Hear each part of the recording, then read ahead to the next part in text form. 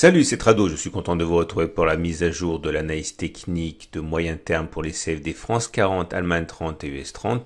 Tout, ce qui suit est donné à titre purement informatif et pédagogique. Vous devez vous rapprocher d'un professionnel pour savoir si l'utilisation des CFD à risque limité correspond à votre profil d'investisseur.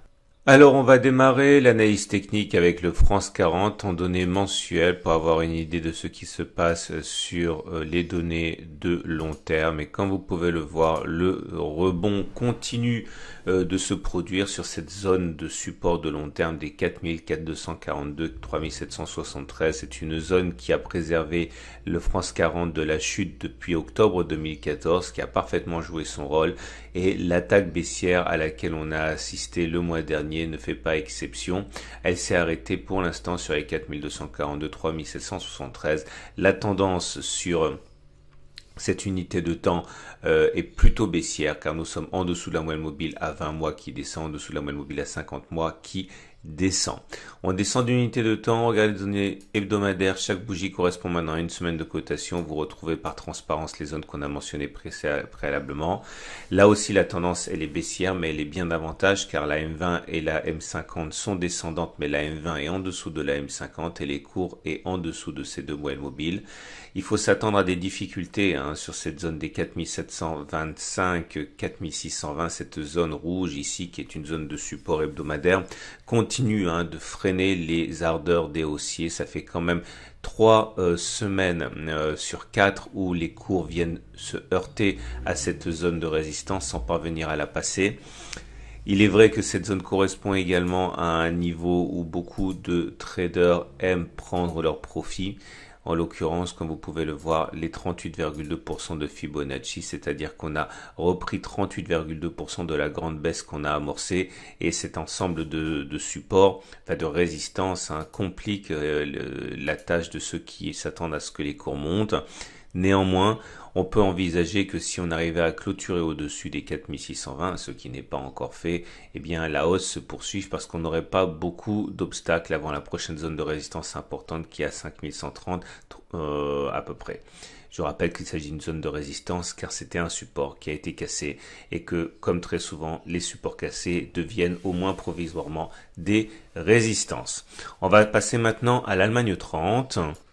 Et donc si on ouvre le graphique de l'Allemagne 30 en données euh, mensuelles pour euh, débuter, là on a une configuration assez proche hein, de ce qu'on a vu sur le France 40, à savoir cette zone qui tient depuis 2014, qui correspond à 9310, 8340 à peu près, sur laquelle les cours ont pris appui le mois dernier. On est très loin de la précédente résistance des 13730, 12830. La tendance est plutôt baissière puisque les cours sont sous la M20 et la M50 qui euh, ont une orientation de plus en plus baissière. C'est surtout vrai pour la M20, pour la M50, on préserve encore les, euh, les, euh, les apparences, hein, mais ça demeure quand même baissier. En données hebdomadaires, maintenant, on a là aussi une configuration assez proche de celle que l'on a pour le France 40. À une différence près, c'est que on a déjà dépassé cette résistance qui fait obstacle pour le France 40, hein, vous le voyez. Donc il faut se rabattre sur la prochaine et la prochaine résistance que l'on a est ici. C'est la zone de support qui a été cassée, qui a changé de polarité et qui donc correspond au 10830, euh, 10945 à peu près zone sur laquelle on pourrait rencontrer des difficultés, surtout qu'en termes de Fibonacci, quand on regarde ce qui s'est passé, cela correspond également au 50% de Fibonacci, qui est un niveau qui est surveillé de près par les, euh, les traders. La tendance est baissière, hein. on est en dessous de la moyenne mobile à 20 et 50 semaines qui descend. Donc attention à la zone euh, comprise entre 10 830 et 10 967. Cette semaine, on regarde le consensus client CMC Markets pour l'Allemagne 30. Et ce consensus client CMC Markets, il est vendeur à 57%. J'en profite pour montrer celui pour le France 40 qui est actuellement, on l'a vu, acheteur à 77%. Et on va terminer avec l'US 30 et pour ne pas oublier, on va regarder tout de suite le consensus client CMC Market pour l'US 30 qui est à 67% à la vente et euh, le graphe de long terme pour débuter. On voit que nous sommes là aussi sur une configuration que l'on connaît bien, à savoir le rebond sur une zone euh, mensuelle euh, de support, hein, cette zone qui est ici, vous voyez, comprise entre 18 606 et 17 330 à peu près. Le rebond a été très franc. La tendance n'est pas vraiment baissière sur l'US 30 en données longues puisque vous pouvez le voir, nous sommes toujours pour l'instant, mais le mois n'est pas terminé au-dessus de la moyenne mobile à 50 mois qui monte, mais malheureusement en dessous de la moyenne mobile à 20 mois qui descend. Donc la tendance de fond est haussière, mais la tendance de plus court terme sur cette unité de temps est baissière on regarde les données hebdomadaires et là aussi, hein, euh, on est dans une euh, forme un peu plus euh, éclatante que sur le France 40, puisque là aussi, comme pour hum, l'Allemagne 30, on a réussi à se désenclaver, à passer cette zone, première zone de résistance. La prochaine zone de résistance, elle est ici. Vous voyez, on n'en est plus très loin non plus. On l'a même frôlé cette semaine.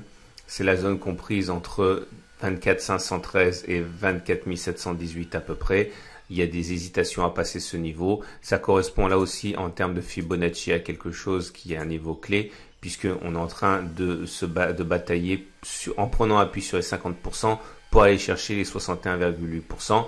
Donc la tendance elle est baissière, vous voyez bien, on est en dessous de la moyenne mobile à 20 semaines, la moyenne mobile à 50 semaines qui descend, donc il faut faire attention, chacune des résistances est un repère de baissier dans cette euh, situation où la tendance est baissière. Je vous souhaite une excellente semaine et euh, je vous donne rendez-vous à la fin de cette vidéo pour euh, d'autres analyses techniques.